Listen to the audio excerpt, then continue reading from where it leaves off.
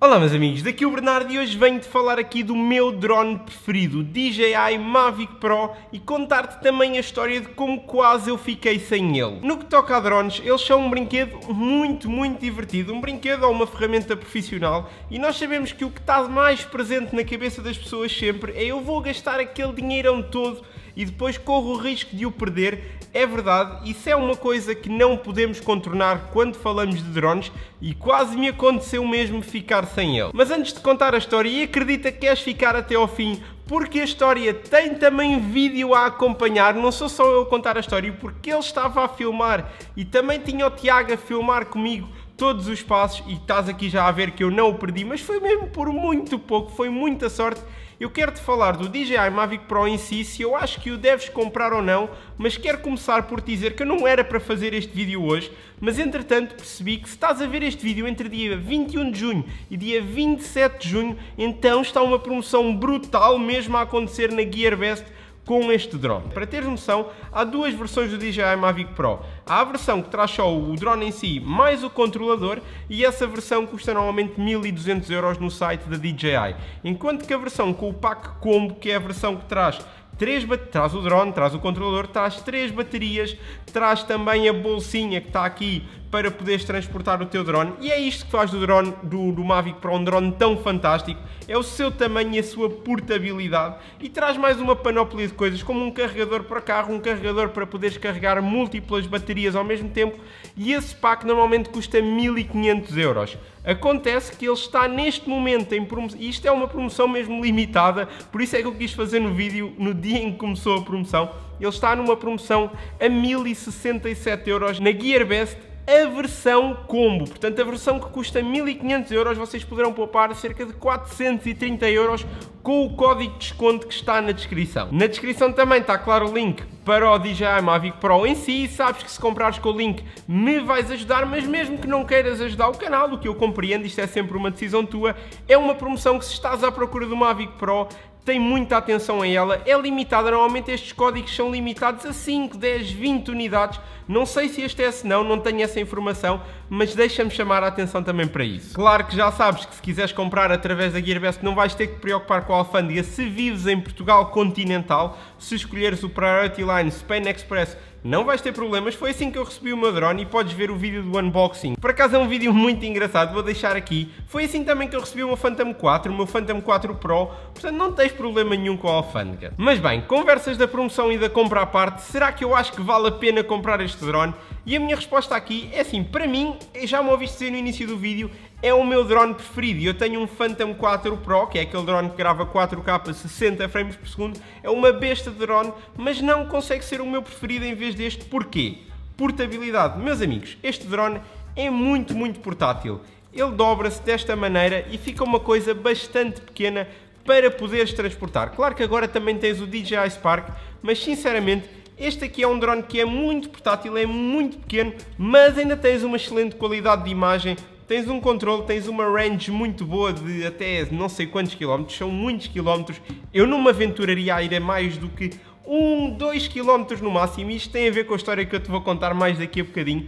Mas é um drone muito bom, é um drone que podes voar dentro de casa, fora de casa, sem problema nenhum. Para o preço dele, claro que já não é um brinquedo e não vai ser para toda a gente, mas tu tens mesmo o bichinho dos drones, então, e estás indeciso, olha, será que eu compro um Phantom 4 ou será que compro este? Porque andam os dois na, maior gama, na mesma gama de preço. É assim, se tu queres fazer trabalho profissional, então eu vou-te aconselhar o Phantom 4, porque é o drone com a melhor câmera, é um drone mais robusto, é um drone que se vai aguentar mais quando, com ventos fortes, mas se queres um drone para hobby, se queres um drone para te divertir e que possas levar para qualquer lado, sem te preocupar. Então este DJI Mavic Pro é sem dúvida nenhuma a tua resposta. É um drone fantástico, foi o drone que eu mais usei de todos os drones que já tive até hoje, já tive 6 drones até hoje, portanto este aqui foi o que eu mais usei de longe pela sua portabilidade e boa qualidade de imagem para a portabilidade que oferece. Para o controlares, basta usares o comando e meteres aqui o teu smartphone por baixo e vais conseguir estar a ver o que é que o drone está a ver enquanto o estás a controlar, portanto é muito fácil.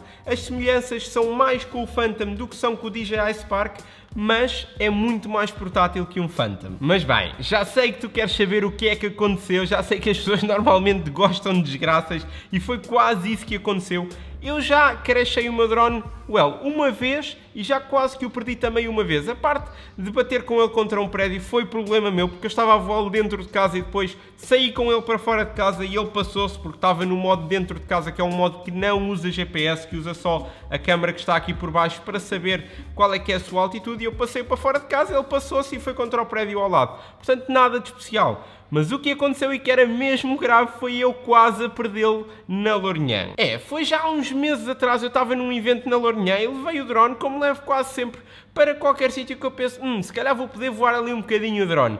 E claro, o evento acabou, estava ali, tive ali uma meia horita, pensei, vou voar o drone. A Lourinhã tem umas paisagens giríssimas, brutalíssimas, e então eu diverti-me imenso a voar o drone e foi aqui que o problema começou. Estava eu bem contente a voar o meu drone, não é? A ver ali as paisagens, todo o vídeo brutal que eu estava a tirar com o meu drone, e então eu posso ou não ter-me distraído um bocadinho com a bateria e com o quão longe ele já estava. Eu mandei-o para muito longe, ele estava, penso eu, a 2 ponto qualquer coisa quilómetros e ele começou a apitar a bateria a dizer tenho que voltar para casa porque senão vou ficar sem bateria ao meio do caminho. É tipo, uau, uau, então tudo bem.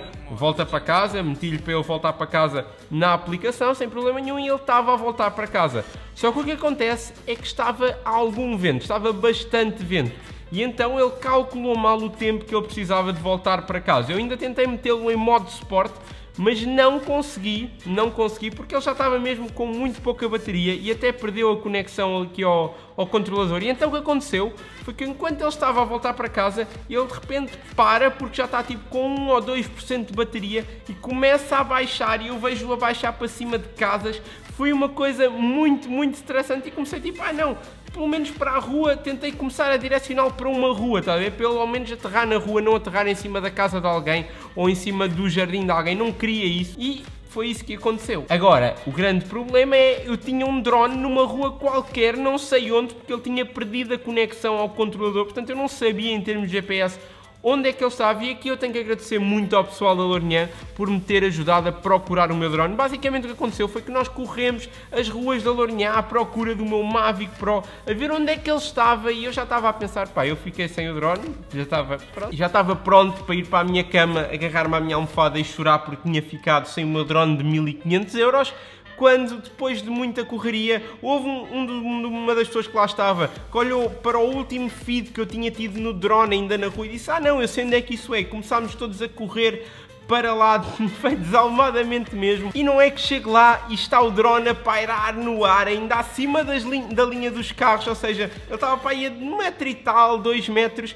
e eu entretanto tinha, tinha, tinha se reconectado, assim que eu cheguei ao pé dele ele reconectou-se, e eu baixei o drone simplesmente, ele aterrou sem problema nenhum, não bateu em nada. Se me perguntares a mim, foi um milagre e fiquei com a lição ensinada. Aliás, ensinada não, fiquei com a lição aprendida de que aquela coisa que te dizem tu não voas o drone quando já não tens visão direta do drone, não voas o drone sem ter visão direta dele, é uma coisa que eu aprendi a fazer depois deste incidente. Agora eu só vou o drone quando tenho visão direta dele e pronto, assim qualquer coisa, a bateria nunca o vou para muito longe.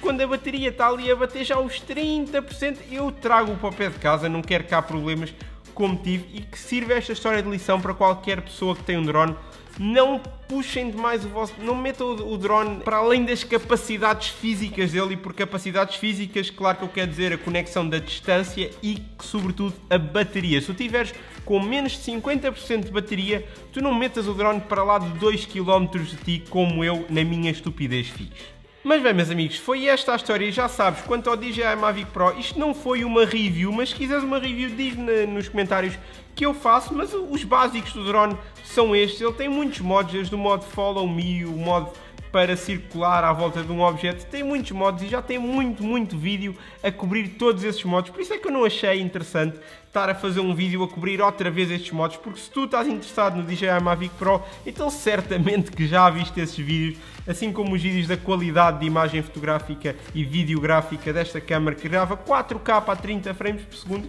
eu achei mais dar, achei que era melhor dar-te sim a minha experiência do que é que foi a minha utilização com este drone ah, nos últimos meses. Mas bem, está ali a dar o Portugal-Rússia, já estamos a ganhar um zero, Cristiano Ronaldo, né? Sim! Portanto, eu vou ter mesmo que ir ali ver o jogo, espero que esteja tudo bem contigo. Qualquer coisa, não te esqueças de me dizer nos comentários, de me perguntar, eu estou lá sempre a responder. Subscreve também se ainda não fizeste. E por hoje é tudo. Até à próxima, pessoal!